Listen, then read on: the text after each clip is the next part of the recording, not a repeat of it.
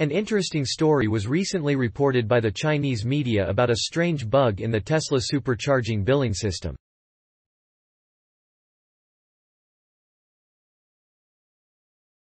According to CNEV Post, after Weibo user at Lu Jing Fen Sui Ji, a Chinese Tesla Model 3 user received an alert from the Tesla app that his vehicle is banned from the Tesla supercharging network due to unpaid fees of 3, 846, 306 Chinese yuan, $608, 708.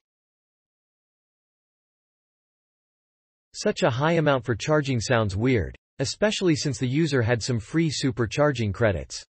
CNEV Post's article includes images that show 1, 923, 720 kilowatt-hours, almost 2 gigawatt-hours, of energy, at 2 Chinese yuan per kilowatt-hour.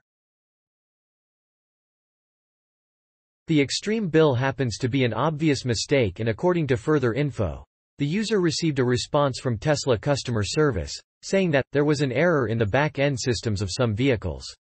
It will be fixed. Nonetheless, it means that there might be more than one user that faced a shocking notification and was mistakenly banned from supercharging.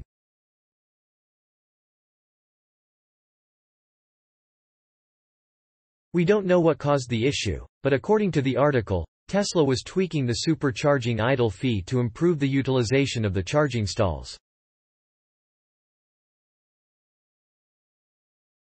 In many European countries, including Germany, the numbers are the same but in euros, 0 euros, 50 or 1 euro, 00 per minute.